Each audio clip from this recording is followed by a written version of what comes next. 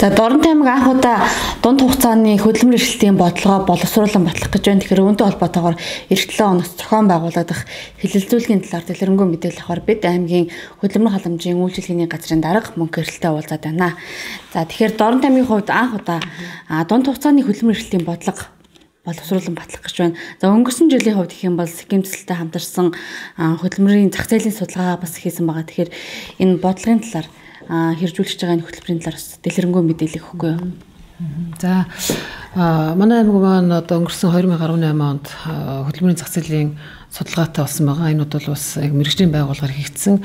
За үүнд бол одоо орон нутгаас болон одоо Европ албаны Сиким төслийн санхүүжилттэйгээр нийтдээ 30 гаруй сая төгрөгийн хөрөнгө оруулалттайгаар хөдөлмөрийн зах зээлийн судалгаа бид нар анх удаага бас орон тавигтай хийсэн. Тэгэхээр ерөнхийдөө хөдөлмөрийн зах зээлийн судалгаатай боломж гин гэдэг маань бид нар хөдөлмөрлөлтийнхаа бодлого дээр ер нь одоо ямар ирээдүйн зорилт төвшүүлэх үү тийм ээ орон нутгийнхаа бодлого төлөвлөлтөд орон нутгийн тэргуулах салбаруудтай ажлын хүчнийхээ бодлогыг яаж одоо уялдуулах уу ажлын хүчнийхээ зүйл дээр яаж анхаарах уу гэдэг зүйл ерөнхий ингээд дүр зураг бол гараад ирчихэж байгаа юм. За үүн дээр үндэслээд одоо энэ хөдөлмөрийн зах зээлийн судалгаа нэгэнт одоо бий болцсон болвол энэ дээр үндэслээд бид нар дунд хугацааны хөтөлбөрийг бас боловсруулах юм хэрэгцээ шаардлага бол гарч ирж байгаа. Тэгэхээр энэ одоо дунд хугацааны хөтөлбөрийг боловсруулах ажлын хэсэг бол аймгийн засгийн захирамжаар бол байгуулагдсан байгаа.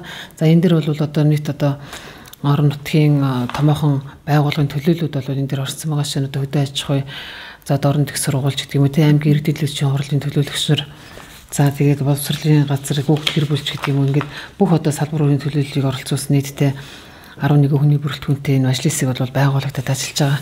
За энэ дэр бол одоо тодорхой хэмжээний хилцүүлэг За салбар байгууллагуудын мэдээллүүд, зорилтууд, тухайн салбарын яамнаас одоо төвшүүлж байгаа бодлого, за орон нутгийн томоохон бодлогын баримт бичгүүд гэдэг юм уу. За энэ одоо дүн шинжилгээ хийх энэ бичиг баримтуудын маань ажлууд бол хийгдэж явж байна.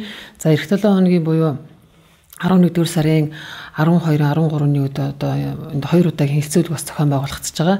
За энэний нэгдүгээр хилцүүлэг бол буюу 12-ны хилцүүлэгэнд болохоор нэг ерөнхийдөө нийгмийн чиглэлийн чиглэл рүү чиглэсэн хүн ардыг яаж хөгжүүлэх вэ? Одоо хүмүүсийн оролцоо ямар ах вэ? За эрэлт нийлүүлэлтийг яаж тодорхойлох вэ гэдэг юм энэ чиглэл рүү нийгмийн салбарын дараагаар өдөр дуусан ийм хилцүүлэг зохион байгуулагдана. За дараагийн дугаарт нь болохоор 20 13-нд бол нийгмийн хөршин бодлого төлөвлөлтийн хэлтсээс одоо энэ хэлцүүлгийг өдөрдөж зохион байгуулж байгаа. За хөрөнгө оруулалтынхаа бодлоготой энэ ажлын хүчний бодлого хөтөлбөрийн зах зээл яаж уйлдуулах вэ? За дээрээс нь норм нутгийн ажилгүйн ядуурлыг энэ хөрөнгө оруулалтын бодлого за тэргүүлэх салбаруудтай яаж одоо хэрхэн уялдуулах хөдөлмөрийнхтийнхаа бодлогыг бид нэр 5 жилээр 3 жилээр яаж төлөвлөх үү гэдэг талаараа нээлттэй хилцүүл бас зохион байгуулагдаж байгаа. За хилцүүлэнд бол одоо аж ахуйн нэгж байгууллагуудын төлөөлөл, за ажил хайж байгаа иргэд, за одоо бусад одоо төрийн бус байгууллагууд, мэрэгжлийн холбоодууд, ажил олгогч эзэдийн холбоо, үйлдвэрчний хэвлэл гэх зэрэг газрууд бол оролцсон. Тэгэхээр өнөөдөр бол бас яг аж ахуйн нэгж удирдаад явж байгаа ахуйн нэгжүүдэд ямар асуудал толгомддог вэ гэхээр ажиллах хүч юусаа байхгүй болчлоо. Бид нар одоо хүн авах гэхээр манай дээр хурж ирж илүү ханддаг. За гэтэл одоо яг ажиллах хүн байхгүй болчлоо ч гэдэг юм одоо бэрхшээл зовлонгууд бол ажил олгогчийн зүгээс маш их хэрүүлдэг. Тэгэхээр энэ дээр ер нь ажил олгогчийн зүгээс илүү одоо санал юунуудыг хэлээрэй гэдгийн хүсэлтийг бас хэлмээр байна. Ажил олгогчид толгомж байгаа асуудлуудыг энэ дээр ажил хайж байгаа иргэн болон иргэд рүүгээ чигээс ийм мэдээлэл өгөөч гэдэг юм уу. Энэ дээр бол ажил олгогчийн зүгээс бол илүү их оролцоотой ажиллахыг бас ажил олгогчийн зүгээсээ одоо илүү сайн оролцохыг бас өсмөр байна. Тэгэхээр ажил олгогч иргэдийн хувьд ажлын байрны захиалга бол бас ирдэг те байна гэдэг ажил олгогч хүн одоо ажилтан олдохгүй байна гэдэг гисэн хэдий боловч яг одоогийн байдлаар ихэд аймгийн хөдөлмөр халамжийн үйлчлэгийн газарт 1000 гаруй иргэн ажил хайх чаар идэвхтэй бүртгүүлсэн байх жишээ. Тэгэхээр энэ асуудал яг юунд байгаад байна? За тэгэхээр ерөнхийдөө одоо энэ хөдөлмөрийн зах зээлийн судалгаатай болсноороо бид нар ингээд эрэлт нийлүүлэлтийн балансыг аваад үзэхдээ за ажлын байр бол жил болгон л одоо 1000 гаруй ажлын байр бол бий болоод байж байна. За жил болгон 1000 гаруй хүмүүс ажил өвтөй хайхаар бүртгүүлсэн байна.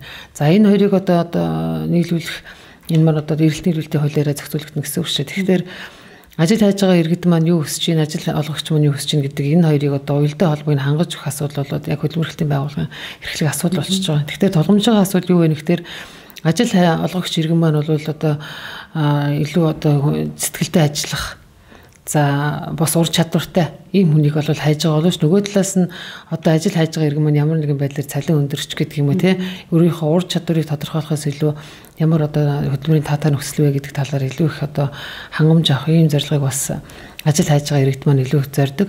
Тэгэхээр ерөнхийдөө бол бид нар энийг анзаараад хөдөлмөр эрхлэлийн бодлого дээр одоо энэ зөвлөгөө мэдээллийн ажлуудыг бас нэлээд савих хэрэгтэй. Мөн ажил болгогч ажиллагч иргэний хоорондын харилцан хамаарал, хоорондын одоо мэдээлэл солилцохын боломжийг бас илүү хангаж өгөх хэрэгтэй байна гэдэг зорилгоор бид нар бас тохороо зөвлөгөө мэдээлэл өрөөтэй болсон байгаа. За дээрэс нь энэ жил бас хөдөлмөрийн сэтгэл зүйч бас ажиллаж байгаа. За хөдөлмөрийн сэтгэл зүйч бол ялангуяа одоо нийгмийн зарцад бүлгийн эрхлөө иргэд бол өөрийгөө илэрхийлэх гэдэг юм өөрөө хажид хөдөлмөрөө ханаас олох уу яаж хайж болох уу гэдэг тал бол маш их тулгамддаг. За тэгээд ямар нэгэн байдлаар ажил олгогчтойгоо ажлын байран дээр очлоход ажил олгогчтойгоо одоо үл ойлголцсноос болоод тэр хүн босод одоо ахиж одоо ажил хөдөлмөрийн талаар зорхоо барих ч юм уу тийм насан туршдаа одоо өөрснөө тийм өөдрөг биш болох ч юм уу ийм үзэгдүүд ашиглаж байгаа учраас хөдөлмөрийн сэтгэл зүйч гэдэг зүйлийг бас ажилуулад явж байгаа. Тэгээ энэ бол бас үр дүнгөө өгч байна. Саяын одоо дөрөвдүгээр үлрэлийн байдлаар бол одоо 100 гаруй иргэд хамрагдсанаас хөршин бишэлтэй иргэд ялангуяа илүү их хамрагдсан юм бас судалгаа байна. Тэгэхээр хөршин бишэлтэй иргэн маань зөвхөн одоо хурж ирээд үйлчлэгээ авахаас гадна тэднэрт бол тийм зөвлөгөө мэдээлэл өөрсний одоо цааш нь дадлагжуулах ийм одоо хэрэгцээ шаардлага байгаа гэдэг эндээс бас байгаа. Тэгэхээр дунд хугацааны бодлого маань ерөнхийдөө яг хэдийн хугацаанд үргэлжлэх төлөвтэй байна. Тэгэхээр ерөнхий зураглал бас гарсан баг. Бид яг юу юун дээр анхаарах хэрэгтэй, энэ бодлогоо юуг тусгуулах хэрэгтэй байна. За эх 7 хоногт болох 2 удаагийн хилцүүлэг бол мэдээж яг энэ чиглэл рүү тусгаад байгаа. Тэгэхээр энэ хилцүүлэгт бас оролцож өөртөө саналаа одоо тусгах хүсэлтэй аж ахуй нэг гэдэг юм уу эсвэл хүмүүс эдэр юм уу бас байгаах тэр тэр хүмүүст ямар шүү мэдээлэх үү ямар зүйл юм. За тэгэхээр А ер нь одоо хөтөлбөрийн зах зээлийн ерөнхий суур судалгаа маань бол одоо өнгөрсөн онд бол хийгдэж гарсан. Тэгээд бид нар энэ жил бас судалгаан дээр үндэслэж ажлууд ингээд хийгээд явж байхад а ер нь бол дунд хугацааны хөтөлбөр бол зайлшгүй шаардлагатай байна гэдэг хэрэгцээ шаардлага харагдаж байгаа.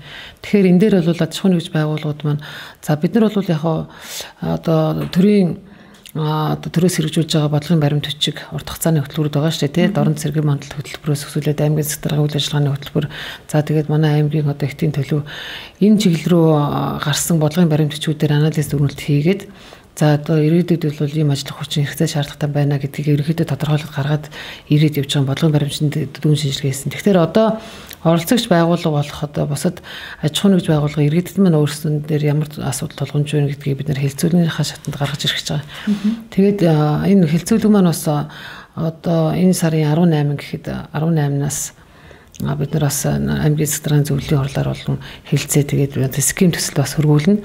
За ским төсөл бол энэ одоо хөтөлбөр маань нэлээд одоо үр дүнтэй ингэж хэрэгжих боломжтой юм бол энийг бас санхүүжүүлээд тэгээ бид нар бол яг тодорхойлохтой ажил хэсгээр яриад 5 жилийн хугацаатай илүү бодлого боловсруулвал тэгээ энэ бол 5 жилд яг ийм байр гэсэн үг бол бас биш. Ерөнхийдөө чиг хандлага бол ийм байна. Ажлын хүчний оролцооны төвшин ийм юм байх юм байна. Хөдөлмөрлөлийн төвшин ингэж өөрчлөгдөн. Тийм учраас бид нар энэ салбар дээр энэ зүйлүүд дээр анхаарах хэрэгтэй байна гэдэг ерөнхий одоо тэгээд одоо чиг шугам гэдэг юм уу тийм зүйл гаргаж ирэх ийм үндсэлтэй явж байгаа. За дунд хугацааны энэхүү хөтөлбөрийг хэрэгжүүлснээр бодлоготой болсноороо за шууд үр дүнг мэдээж хэлэхэд хэцүү. Гэхдээ ямар ч байсан манай аймгийн хөтөлбөрийн зах зээл дээр за ямар ч байсан ийм ийм ахс дэвшил гарна, ийм юм уялдаа холбоо үүснэ гэсэн мэдээж дүр зураг гарсан байгаа.